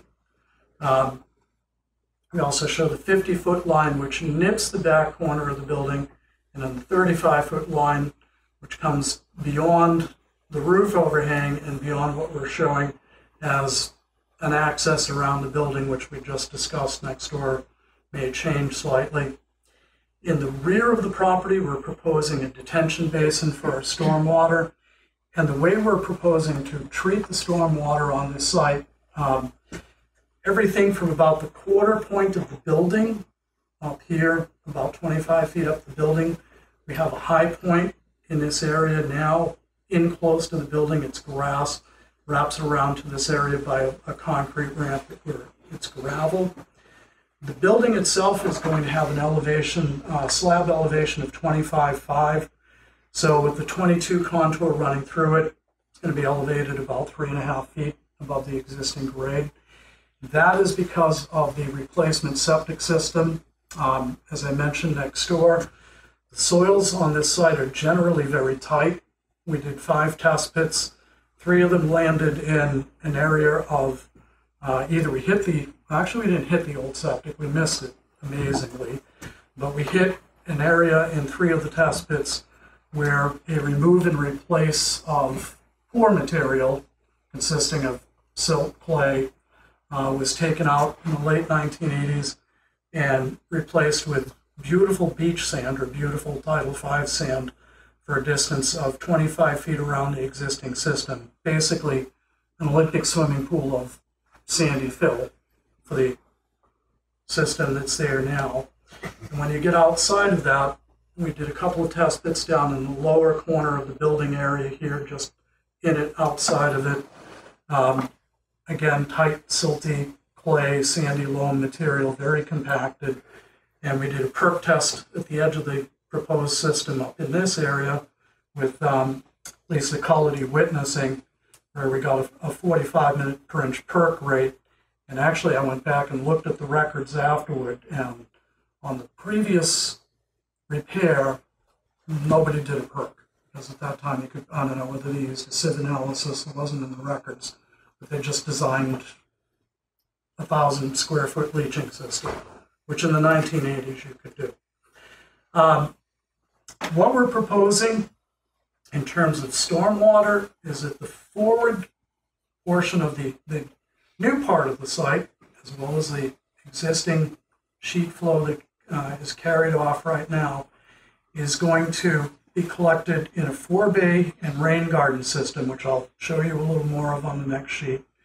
Um, we're proposing to sheet everything in this direction from the building forward uh, through this stone parking area, which may change, as well as pick up the existing drainage, which now sheets towards the back. It'll um, come off the pavement through a pea stone diaphragm, which we have a detail of, into a forebay, which will provide settling and removal of suspended solids, through a filter berm, then into a rain garden, which will provide some additional filtering and settling. That rain garden will then, when it reaches full capacity, will then flow through a pipe, will extend down the side past the building, past the roof recharge, into the detention basin at the rear of the property. Um, from about the quarter point of the building around, there's sheet flow that currently is sheeting off towards the driveway, as we just discussed next door. We're going to capture this area and route that into the basin as well. At the moment, we're provo- uh, providing roof recharge on either side of the building for a roof runoff, which is typically your cleanest runoff. Um, one of the comments noted by Peter Palmieri, we got a, an extensive review as part of the planning board process because he reviewed the stormwater management checklist, is um, the fact that we're, because we're showing recharge, we don't have the required four foot separation to groundwater. So we either have to do that or provide a mounding analysis. So we're looking at the alternative of extending that basin around this side. Obviously, we don't want to elevate the existing building any more than it is now. We feel that it, it sits adequately on the site and we prefer not to raise it up any further. Um, we're showing a couple of outside display areas, screen dumpster, loading space across the front of the building. What you folks would be more concerned about is, actually, I'm going to go to the sheet. That's the, that's just the same sheet. Here's the good sheet. The enlarged drainage detail sheet, I should, I just skip the smaller version of this because this is a little clearer to see. Um, we've shown some spot grades around the building and across the front of the building, again with the slab elevation at 25 and a half, we're showing that we have 25 and a half at the front. As we go over the septic system, we drop about a tenth or so because we need to maintain a foot of cover over that. We're showing a 24 contour in this location, wrapping around, coming off the existing building, um, and wrapping across. So we're depressing the site or sloping the site towards this kind of northeast corner over here into the forebay and the rain garden, the rain garden of which will be under drained. We're going to put uh, six inch perforated pipe underneath the rain garden, wrap it with filter fabric so that fines don't clog it. And provide the opportunity for the rain garden to dry out. The bottom of the rain garden and forebay will be at elevation 22, so the depth of the rain garden and forebay will be two feet at its maximum, and that's if the pipe happens to be full. We have the pipe elevation, our invert out, at 23. So we would anticipate in a normal 10 to 25 year event, you'd have a foot of water in it. It would drain out within 72 hours. Um, in a 100 year storm, you would possibly fill up to 24, but in order for that to happen, the pipe has to be clogged, this has to be full as well. So the invert out is a foot below the uh, top of the forebay and the basin. We're showing a 24 contour wrapping around this. In the rear of the site, um, we're showing discharge via the rain garden as well as a pipe to handle any overflow from the roof recharge, which is sized to a 10-year storm in both cases. And that would go into an elongated detention basin in the rear of the building. The bottom of the basin is at elevation 19, so it's fairly close to the existing grade. Our closest wetland flag is 18.5, so it's a little down gradient of us. So 19 just immediately either side of it, 18.6, 19, 18.8. So you're you're dancing along that elevation 19, but you have a 20 contour here. So the middle of this basin would be about a foot lower than the existing grade in this location. Um, we have a 22 here, so and a 24 up further. So at the high end of it, you'd be four feet below existing grade, roughly. Top of the basin going around is 22, proposed at 22. So the basin wouldn't be, it would be three feet deep. We show an emergency spillway located again at the closest point to the wetland. And just adjacent to that, we show an eight inch pipe as a discharge, which is set in an elevation of 21.3. So bottom of the basin would get slightly less than two and a half feet deep in a typical storm before it starts to dis- discharge. Um, discharge coming in from the roof runoff on both sides. Again, with this one likely changing to an open air basin. The side slopes of the basin are proposed at a two to one. We have a berm across the top and then a 20 elevation 22 and an elevation 20 contour wrapping in back to the existing contours, which again are at the very bottom corner. 22 contour, the existing contour, which would be the top of the basin, is right through this bottom one third of it. So your 22 would come in, wrap around, and then join back into the existing 22 contour here. Um, the top of this is proposed at basically a, a, almost a lip berm around the top at elevation 23 so that we make sure we maintain a half a foot of freeboard above our spillway, which is at 22 and a half.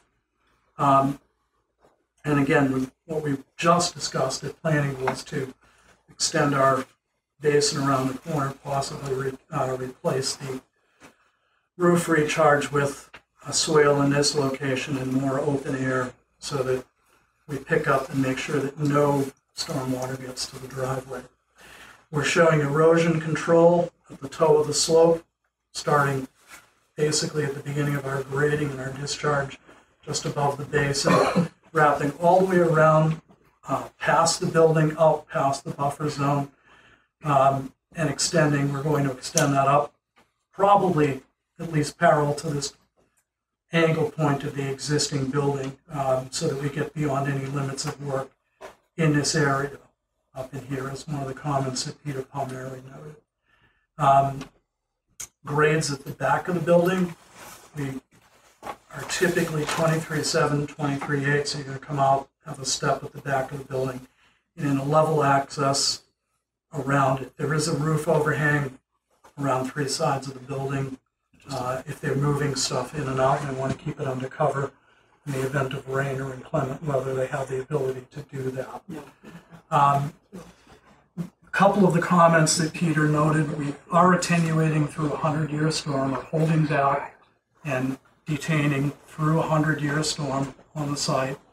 Um, his major comment, which we're going to work with him on uh, in the next couple of weeks before we go back to planning is the fact that our separation to groundwater, we're at, we're holding a minimum of two feet in our detention basin and our rain garden, which typically is the, the absolute minimum that you want to get. However, our roof recharge, um, while we're also at two foot minimum, um, if we're going to count recharge, he would prefer to see four feet, where we have to do a mounding analysis. Um, so that's one of the things we're going to discuss with him.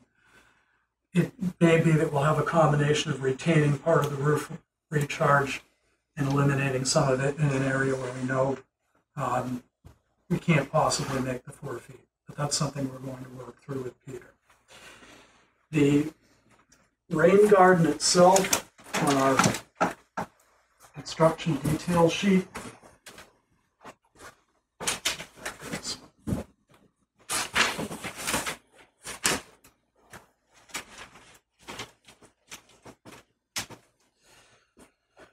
showing on our, our typical detail, uh, construction detail, a cross section of our rain garden. Again, the two foot separation to the bottom of the rain garden. Um, the idea being that this area is going to take runoff from, there is kind of a grass swale in here, but it's going to take runoff from the existing pavement, everything from the front of the building coming forward. We're showing here contour elevations from 22 to 24. We're showing that around the edges of the rain garden, we're going to use um, 12 inch minus trap rock for slope stability. We have a guardrail along the edge of it. We also have at the very edge of the pavement, running around a pea stone diaphragm or filter trench, which we show a uh, detail of. Basically, a two foot deep, one foot wide stone trench that has pea stone on top, uh, three quarter to one and a half inch stone underneath, kind of similar to a, a septic leaching trench without the septic, wrapped in filter fabric, and it acts as a filtration system. It picks up the immediate fines and immediate runoff from hydrocarbons. You then have the forebay, which again extends from pretty much parallel to where the pavement ends out to the area of the existing gate. And then you have a filtered berm, which we have done a detail of, which primarily consists of a stone filter berm with some fabric, a little bit of a core berm inside, uh, tr larger trap rock inside of that. And what it does is it allows the water in a forebay where your, your primary goal is um, trapping of suspended solids, clarity, that water can go through this, filter through the stone, but your solids get trapped in it. And by the time they reach the rain garden, which provides a second level of filtration and suspended solids removal, you've weeded out at least probably 40% of it in your. And so the goal being to attenuate 80% of your uh, total suspended solids by the time you travel through a forebay, a rain garden, and then the detention basin at the rear of the property. Um, on the stormwater management checklist, you've taken out 80, percent of your total suspended solids. You don't really use it for attenuating your storm events. That's what your detention basin does, although it slows the rate of travel. But the primary function of your forebay and your rain garden is um, removal of those suspended solids. So even though in a large part the site itself is redevelopment of an existing site, which is the forward portion of the property here, because we're providing a new building, new paving area, we have to show that we have to demonstrate that we meet the stormwater management checklist for any of the new development on the site. You can't really claim the whole site as redevelopment.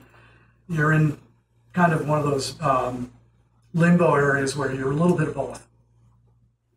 Um, the remaining construction details, um, besides the spillway, we're showing that uh, should they remain in place, our roof recharge, we had anticipated using uh, precast concrete because it's an area where might be moving a skid steer around, small piece of equipment, so you don't want to use plastic or anything that will crush. Uh, Again, noting two feet of separation, downspouts coming directly into the side of this with a foot of cover over it. And our last Are those, are construction those, detail sheet. are those downspouts off the roof or roof drains? that- Roof drain, yep. Straight down and straight into the recharge system or into the chambers because your, your roof source of runoff, unless you're on a certain type of metal roof, which this won't be, generally your roof runoff is considered your cleanest uh, stormwater discharge. Once it hits the pavement, it's subject to hydrocarbons, etc. But roof runoff, just off a normal roof or coated roof, uh, is considered non-polluted. It's considered your cleanest form of runoff. Our other construction details, we've shown the test pits that we dug on the site, um, plantings which will be accomplished in the southwest and northeast corner. Um, We also took a few minutes to mention that as part of the operation, and I mentioned that we, we're showing a replacement sewage system, uh, there is a holding tank for floor drains within the building. That holding tank um, is located at the front of the building, adjacent to the septic system here. None of the um, components of the holding tank system, which are only for floor drains, if you back a truck into a building in any of the bays, you're supposed to have an industrial holding tank if you have a floor drain. Not directly part of the stone cutting process, but obviously if you clean the floors and there's some ancillary dust or whatever, that may get in here as well. We anticipate gets pumped every three to six months. Um, it is not connected to the septic, not connected to the drainage in any way. Um, it's important to note that we don't have any catch basin structures on the site. We don't have any any trap structures. This is all being accomplished by overland runoff into the forebay rain garden and an overland runoff down the side of the building into the detention basin uh, for the area along this northerly side of the building and a little bit of the north or northwesterly side that would slope into us. And if we extend this around the corner as we're looking to do, then we pick up probably half to two thirds of the rear building, rear of the building. So with that, I'd like to open it back up to questions from the Can you explain some, some of the usage of these structures, of the existing structure and the new structure? What, what's gonna happen in these buildings? Okay, the existing structure um, is going to be the, the carpentry shop, if you will, or the cabinet shop, because the combined, um, as Mr. Stracco and Tony noted next door, um, they're consolidating their operations. They have a site currently that they use next door, which is primarily a showroom, rock solid granite. And their fabrication is located in East Bridgewater, Bridgewater.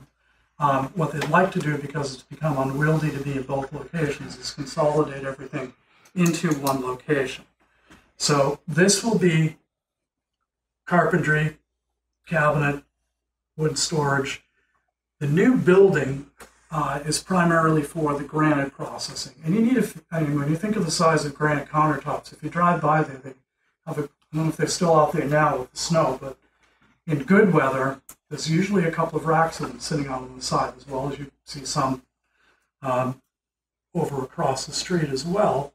And they need to be able to store these, move them around, do the cutting, the fabrication, etc. So that's what the new building is for. Is for the, primarily for the granite cutting and granite fabrication. And so you guys are rock solid? Yes. Okay, and so that's, and that's still gonna be part of your operation? Which? The original building? The original building will stay as a showroom. As a showroom, Yeah. okay, okay. Thank you. Anybody else? Um, just on the pea stone tube underneath the, the trench underneath the rain garden. Mhm. Um, what's the life longevity in those and what's the, wh- what do you expect to get out of those? It's it's made out of Schedule 40 PVC. What so size? the piping coming out here is What gonna be. size? Hmm? What size? Six inch. Six inch? Si- I'm sorry. Um, and if you wrap it, primary thing is if you wrap it with filter fabric, you want to make sure that um, you're required to show that your any of your open air basins, whether they be a forebay, a rain garden, a detention basin, we're required to demonstrate that they will drain within 72 hours per the stormwater management regulations. And so, because as I mentioned, we have very, very poor soils in this area, we have to demonstrate that this rain garden will Accept dry, will accept water, but will also, because again, the primary purpose is filtration, not infiltration, that this garden won't, this rain garden won't, you know, unless you have something catastrophically unusual like this time of year, right now where you have, say we had a rainstorm and then we have weather like we have now. You have an ice rink for a few Oh, yeah. days. And we, we talk about that a lot in stormwater, but in your normal condition, your drainage basin should um, dry out within or empty within 72 hours. My, my question was, not to be specific, was what is the duration of that product like on a, on a site? What do you expect Schedule out 40 of that? PVC? No, the, the actual filtration, you know, of that without clogging. What is the? How do you life expectancy? The rain- Life expectancy. Okay, the Just rain, curious, the just rain question. garden itself, um, actually in your, on our plan, not only do we have a construction series of notes, because you have some layers to this. You have a bottom layer consisting of stone with the pipe, and in this intermediate layer, which we call kind of loosely a bioretention mass layer, it's made up of soil, mulch, fertilizer, um, basically, you're supposed to go through and look at that and potentially either replace, you have a maintenance schedule where you go through and remove any fines, any sediments that are in the top layer. So that O and M is included in this whole stormwater management report, which was part of what you have. It's an operation and maintenance, and it cites, uh, you know, quarterly, annual, daily, just for your daily site, tasks. Book? Yes, sir. Wow. Just do it. Yeah. So, So how do I- so this, this one, um, you know, has all of the, the, uh, uh, maintenance operations. So we made sure we make, we include that as part of the notice of intent, and it becomes part of the order of conditions. You guys cite it to them, and then we tell the guys, where's the Bible, we want it on the job, because this tells you what to do. If, if it, if it's maintained properly, the few that I've seen out over time, um, if they maintain properly, you might go in every couple of years and take, skim off the top part of this It's all manual. and basically replace the mulch, the wood chips, the soil in the top part of it. If you have, and because of, um, because you're actually fronting on pavement here, you're not going to get a lot of sediment or a lot of fines getting into that.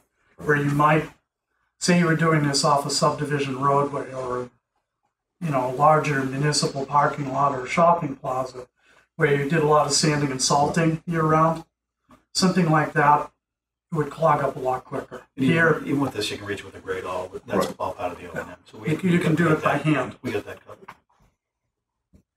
Can you, can you put up the uh, building diagram again? How long do the fabric filters last for?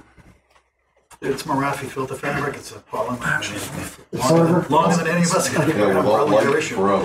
Yeah, So that particularly when it's might- backfilled, it doesn't get any UV breakdowns, you know. it's- So noticing that you, you nipped the fifty foot buffer there with the corner of the building, was there a reason that you couldn't push the building up three or four feet to get out of that fifty foot line? primarily the septic system, the replacement septic system. Um, we're at, because we're a slab on grade with the building, we can be 10 feet off of that building. Um, right now, the existing septic system, I'm not going to flip sheets all over the place, but the existing system runs 90 degrees to this perpendicular. Um, because this building has a basement, we need to be 20 feet off of it, and we're at the bare minimum for both of them. Really right off the bare minimum. We could ask Brook Monroe to look at that flag and see if it belongs three feet further back. Um, just knocked a thought right out of my head too. Sorry. Um, other than the fact that the, the existing site is pretty much, it was a whole gravel yard, so we're not into anything that's, that's virgin territory in the back of the site as well. Anybody else? Sorry, the pipe, pipe you're running from the rain gun back to your, the, how much cover are you gonna have on that pipe? Um, No, I'm more, I'm concerned about Yep. freeze. Yep. The rain garden. Right, right here, basically with an invert of 23, we're showing a grade of about 25 and a half. At the edge of the, our parking maneuvering area, we have 25.7. Um, it's a 12 inch, it's reinforced concrete. We're doing it as an RCP, not PVC. Um, roughly a foot and a half of cover over Over it. twelve inches. So even if you got some icing on the bottom, you're still in that flow. That's why we went oversized instead of a six inch. Uh, you're talking the storage tank for floor drain. Out front. I ran into a little problem a while back on cutting of granite or cutting of stone. The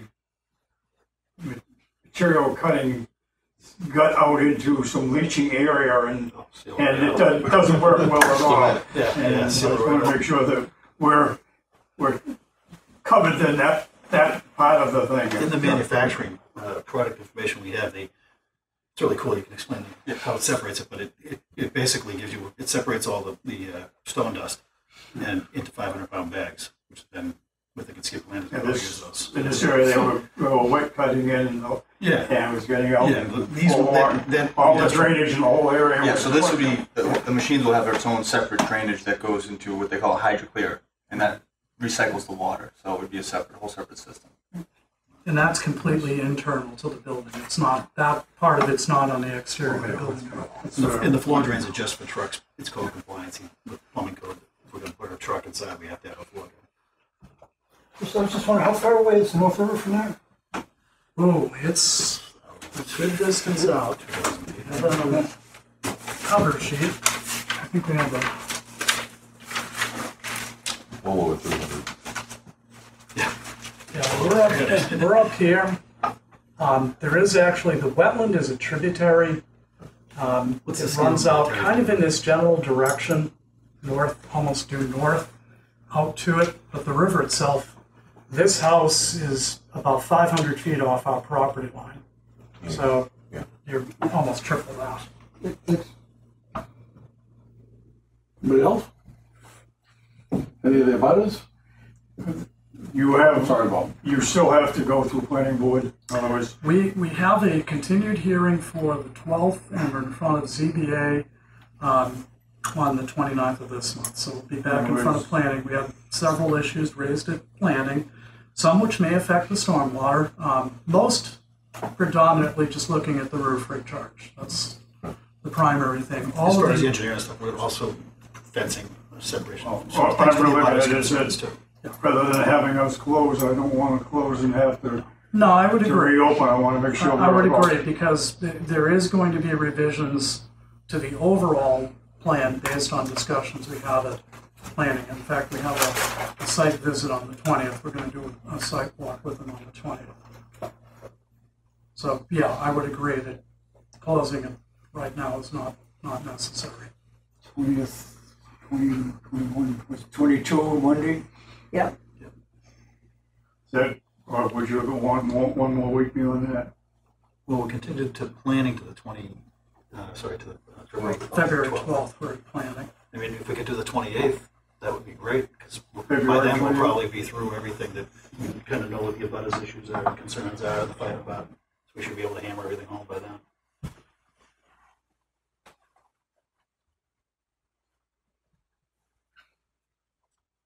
Playing a game, she isn't. It's poker, bro. Is it twenty-eighth of Sunday? You guys parallel play now? February twenty-eighth is a Wednesday. Oh, so it would be the No, it's not twenty, Twenty-sixth. The twenty-sixth is Monday. February twenty-sixth? Oh, not February, no, January. Oh, January. January, I'm sorry. January twentieth is a Sunday. January twenty-eighth, That's, that's a Sunday. January twenty-eighth is Sunday. Yeah, what's that? I don't have my calendar. CAC championship, we're not doing anything. So, For the Pretty twentieth. sure. If it's a The football, 20 football game. We're not, we're not scheduled to meet We're tonight. scheduled, we're We're scheduled not for the scheduled, we're twenty-second. scheduled. We're, we're scheduled back on the fifth, The right? twenty. The 22nd. ZBA, uh, Yeah, so we're scheduled again on the So they twenty-second, can come in, on February Here fifth. we are. yeah, the twenty-second or February fifth.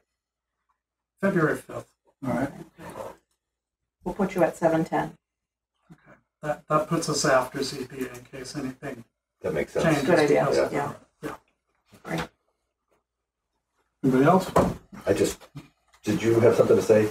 I, I, my question was, was hanging from next door, and I just want to address it with you guys. Shannon Wilson, two four eight, so we're the direct side of butters for the majority of this project. And last we checked, because we're involved in the forty B behind us also, is there, that was rare and endangered species habitat zoned. So is it still? There's some confusion over. We, we looked it up, and as of the most recent mapping, which is probably part of our submittal, because I usually put it in there, uh, it's out as of now. Well, a couple months ago it was, uh, to the best of our knowledge and through our lawyers, so we're, we're a little confused about all this, it. most of this area is open anyway, so Yeah, this they, they made some major, and Rachel can probably look it up pretty quick and check it on Oliver. But um, the mapping changed to a pretty large extent, I want to say around September, October of now, last year, because we've been working on some projects in Marshfield that were in, that are now out. They shrunk the size of a lot of the priority habitats. And this was one of them. And we actually caught it more by accident than by design. We just happened to go through and be looking at another project and looked at this one and said, hey, wait a minute, this one changed too. And it, it's, currently it's out. But please, Yeah. you know, we it, but please go ahead and verify on Oliver. It's easy to do.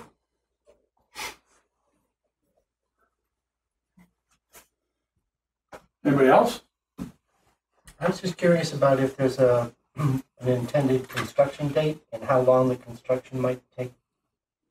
As quickly as possible, I'm sure. It's possible that that to be closed, I mean, depends on, well, at this point, I don't think we'll be closing until the, after the ground stops freezing. But you never know around New England. Um, I don't, I couldn't really speak to the exact date, I can get that information for you, I don't know how long it takes to put, Was do you have any idea how long it takes to do this? Well, there's a twenty day appeal period for ZBA, we have an appeal period for planning and a ten day appeal period for Concom. So once we get approvals, Yeah. then the boards have to formulate their decisions, then they have to file them with the town clerk, and then the clock starts, the appeal period starts click. clicking from there. But the So we're- construction we're spring- period we're spring- itself it's would spring be construction.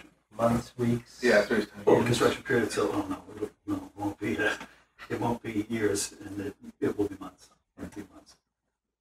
But it's not, the good thing about the pre-engineered buildings, you basically have seven subs to come in, and the fellow who's GC in the job is very, very experienced. So, Anybody else? Should we make a Well, we motion? will to- continue. Motion to continue, um, to, um, February fifth. At seven ten? I'll second it. Everybody agree? Aye. We're good? Thank you very much, thank you. Thank you. Sorry we're running behind. All right, we'll make it up on the way. Yeah, I know. You'll leave me standing sometimes. Okay, you wanna give these to Rachel? Okay.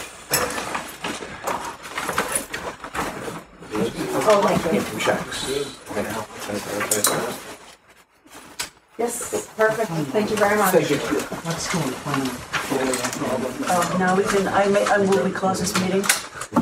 Second. Motion adjourned. Adjourn, yeah. Yeah. Motion adjourned, second. All in favor? Oh, yes.